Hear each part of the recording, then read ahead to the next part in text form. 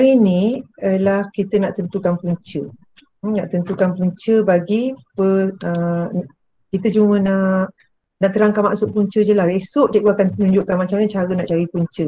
Iaitu dengan menggunakan kaedah pemfaktoran. Tapi hari ni uh, kita tengok saja macam mana nak membentuk fungsi kuadratik berdasarkan satu situasi dan kemudian kita nak terangkan maksud punca persamaan kuadratik. Okay. Baik, cuba kita tengok situasi ni. Ini kita pun dah buat hari tu. Okay. Encik Ganesan merancang untuk membuat dua jenis kad uh, untuk digunakan dalam aktiviti kelab matematik. Baik, baik. Ukuran bagi kad-kad tersebut ditunjukkan di bawah.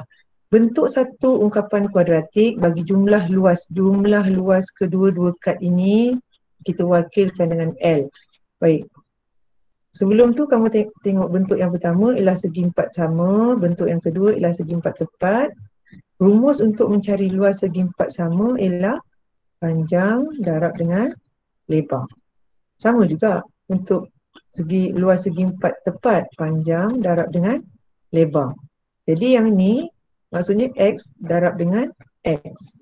Ini panjang ini x darab dengan 2x tambah 1. Bagus. Okey. Sekarang ni dia nak cari jumlah. Jumlah. Okey, kalau jumlah hmm, kita akan cari hasil hasil tambah. Okey, kalau kita nak cari jumlah maknanya kita nak cari hasil tambah. Nak cari hasil tambah. X darab dengan X ialah X kuasa 2. Kemudian kamu tambah dengan yang ni. Tambah semua ni. Kita akan dapat X kuasa 2 tambah X darab dengan 2X tambah 1. Ini dah sampai pada algebra. Algebra maksudnya kamu me, membuat kembangan. Okay, L sama dengan X kuasa 2 tambah ambil yang ni. X darab dengan 2X tambah 1. Okay, yang ni algebra. Okay, algebra maknanya kamu kena selesaikan lah. Campur dengan 2X kuasa 2. Okay, X darab 1 akan dapat dapat X. Okay, jadi apa jawapan ini? apa jawapan untuk ungkapan yang pertama? Kalau tak ada nombor maknanya satu depan ni. Kalau tak ada nombor, dia nombor dia satu. Satu campur dua, tiga. Tiga X. Dua tambah X. Kamu akan dapat jawapan yang ni. Okay. Baik. Yang kedua, diberi jumlah luas kedua-dua kad ialah 114. Bentuk satu persamaan kuadratik dalam sebutan X. Baik, kita ambil semula ungkapan tadi. Ini ungkapan. Kita samakan dengan 3x kuasa 2 tambah x samakan dengan jumlah yang diberi dalam soalan 114 adakah ini bentuk ax kuasa 2 tambah bx tambah c dah dapat tak bentuk ni? Tak. belum jadi kamu kena susun balik susun balik samakan dengan samakan dengan sifar dia nak suruh jadikan bentuk persamaan kuadratik persamaan kuadratik ini bentuk dia bentuk A jadi kamu kena susun pindahkan dia akan jadi apa? negatif. Ini positif pindah jadi negatif 114 sama dengan sifar. So ni jawapan dia. Okay. Nah, itu nak, macam mana kita nak bentuk situasi, uh, bentuk persamaan kuadratik daripada satu situasi. Eh. Okay. Apa kaitan antara punca persamaan kuadratik dengan kedudukan? Kedudukan punca-punca tu. Okay, cuba tengok bawah ni. Punca bagi persamaan kuadratik, ini persamaannya, ialah titik persilangan. Maksud punca ialah titik persilangan. Antara graf itu dengan paksi X. Jadi kalau cikgu cakap punca, mana kamu mencari apa nilai pintasan di X ni. Ha, kalau A ni positif sebab graf tu senyum, dia akan pintas di dua ha, tempat dekat X ni. Kalau graf ni masam pun macam tu juga, dia akan ada dua tempat dia akan pintas dekat X ni. Dan bila cikgu kata nak cari punca, mana kita nak cari nilai X lah. Dia pun nak cari nilai X sama. Ni pun nak cari nilai X yang dipintas kat mana ni. Ha, macam tu. Itu maksud punca persamaan kuadratik. Okay.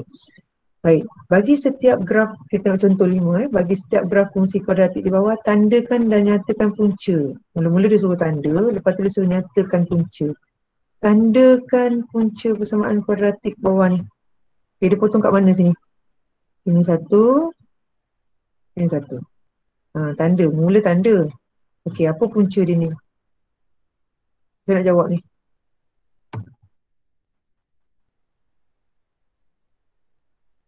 Macam mana nak jawab ni? Contoh lima ni. Jawapan dia bentuk dia macam mana? Kamu dah tanda nak tuliskan tu? nak tuliskan macam mana? Kita akan tulis sini punca yang ke jawapan pertama X sama dengan negatif 4. Satu lagi ni X sama dengan 1.5 ni ni kita tulis. Okay. Hmm. Boleh? Boleh. Boleh kelas? Boleh. Okay. Baik, yang kedua. Okay. Yang ni bentuk graf senyum. Graf ni senyum eh. A ni positif. A ni lebih besar dari kosong. Ini graf ni A dia kurang dari kosong. A dia negatif satu eh. Baik, graf ni bentuk masam. Baik, kat mana dia pintas? Dekat mana punca dia? Punca dia kat paksi X ni. Ini. Uh, itu kan kita dapat tunjukkan tu. Baik. Apa nilai X kat sini? Negatif satu. Apa nilai X kat sebelah kanan ni? Hmm. Kita dapat dua punca.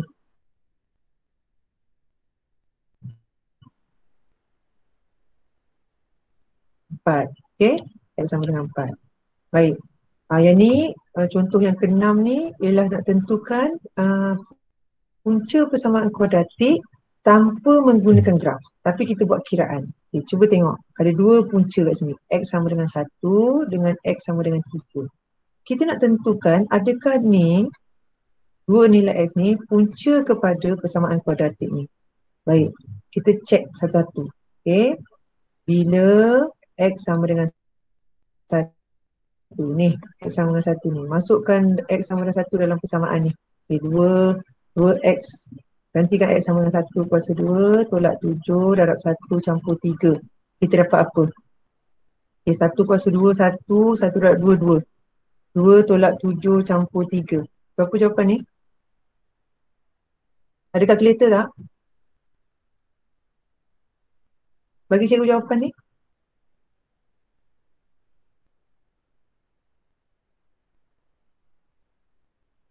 Berapa? 8. Ke dah lulus? Ha? Mari cikgu tengok siapa ada sini. Ha, Razik. Apa jawapan ni? 2 tolak 7 campur 3 ni. Ini dah masuk integer pula. 8. Ha. Apa Razik? 8. Lapan. Lapan. Negatif 2.